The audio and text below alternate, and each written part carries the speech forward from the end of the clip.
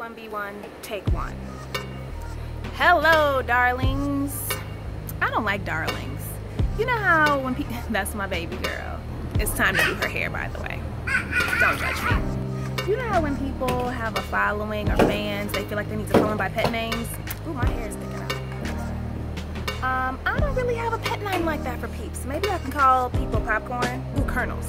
What's up, kernels? I'm here today because I want to start something revolutionary.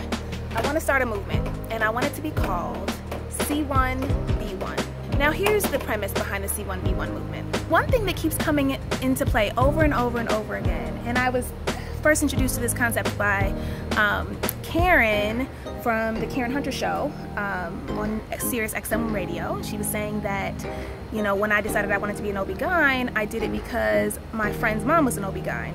And the concept was you have to see something to want to be something. And that's not always true. You can aspire to be anything, but it's kind of nice when you see somebody who does what you think you want to do because it gives you like license. It gives you freedom to say, I can do that too. And so I want to share with the world, because this is the information age, YouTube is like that, that you can be anything you want to be. So I'm going to feature different people from different professions um, and just demonstrate how we all got where we are, what we love about it, what we don't like about it. And I challenge you to be involved in this movement. I would love for you to record your own video outside ID.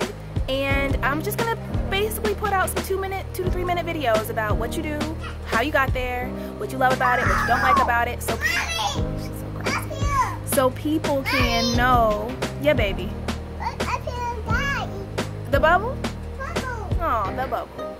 So people can know that they can be whatever they want to be. They can do whatever they want to do and I would love for you to be involved with me with that. So See1Be1, if you decide to do your own video, um, put it on your social media, wherever it is, hashtag See1Be1, and I just think we can start something great because not everybody from certain communities sees people, knows people who do different things, but this day and age, you don't have to touch them, you don't have to be right next to them, you can see them, you can see a video, and you can know that it's real. I think this could be grand.